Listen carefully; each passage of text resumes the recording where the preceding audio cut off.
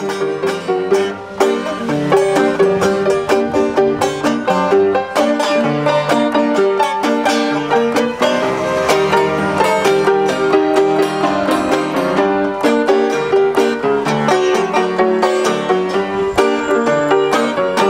the angels sing.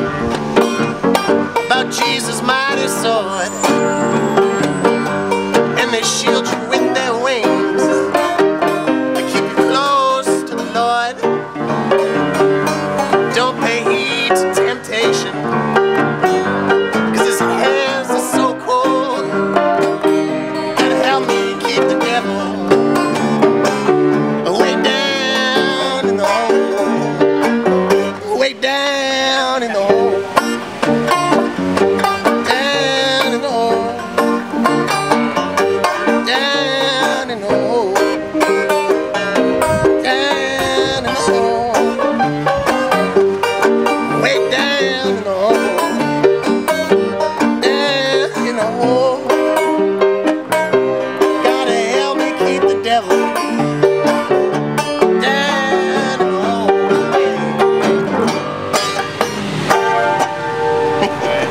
Yes, sir.